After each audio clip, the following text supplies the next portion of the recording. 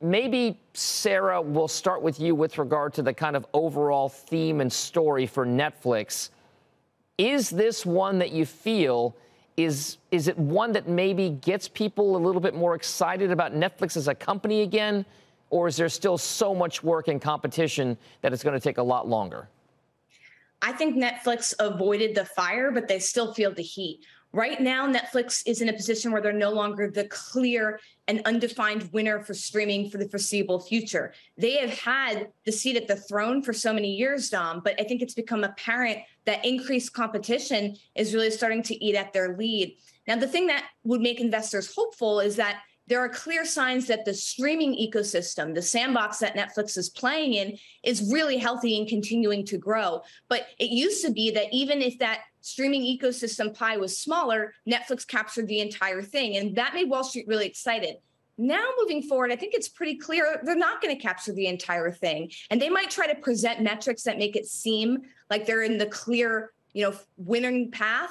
But the reality is, um, when they try to introduce their advertising tier next, uh, I think it's early 2023, it's not very clear, at least to me, that they're going to have some sort of clear advantage from the outset. You know, Disney's been doing advertising with Hulu, especially for so long. They're the clear winner. You have companies like Peacock who have the entire ad infrastructure of NBC Universal. Same thing goes with Paramount Plus. I really am concerned about Netflix's dominance for the foreseeable future. All right, so so James, maybe all of this has been priced in, right? I mean, this is a stock that has lost 70 some percent of its value entering that earnings call yesterday, and it's up about 6% mm-hmm. percent right now. It had been up about 13% right after the results came out. It doesn't sound like some investors are convinced that this story is one that can really turn things around on a more secular basis. I, think you have to separate between the market and the Netflix stock right now. I think the tone of the market is shifting. I mean, re- remember, this is a company that's strictly traded on sub growth. And now you have a declining sub base as well as downside to third quarter guidance, which would have been inconceivable to see a rising stock in the first half of this year. So expectations have come down.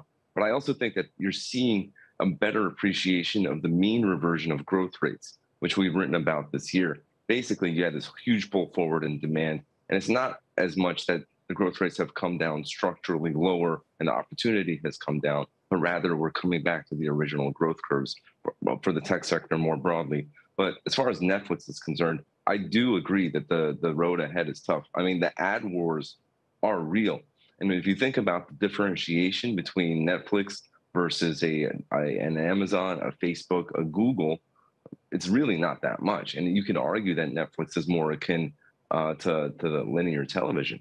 So I, I think that the roads ahead uh, are are not that easy uh, for Netflix, uh, even though you do have a pop in the stock here near term, given the lowered sentiment. James, could, could I follow up there uh, with regard sure. to uh, from an investor perspective, right?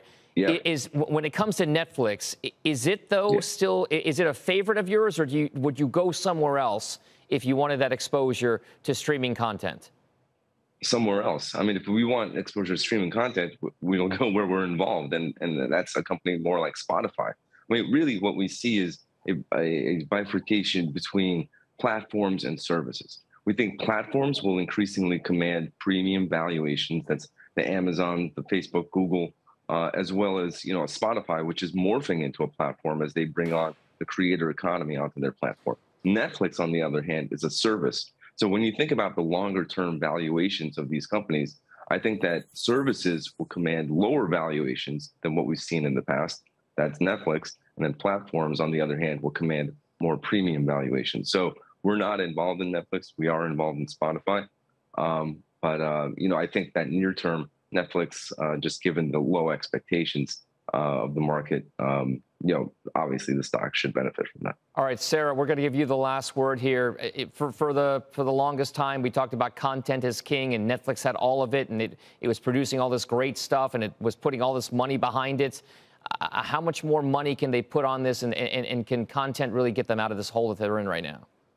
Content itself is not going to get them out of this hole. They said yesterday that the $17 billion that they are spending this year on content that's going to remain in the same zip code was the word that they used for the foreseeable future for the next few years. And that's kind of stark down because if you think about companies like disney they're spending $32 billion in content. And so netflix in my opinion is going to have to figure out how do they increase their revenue maybe drive a little bit more investment into content if they want to be truly truly competitive in the streaming wars.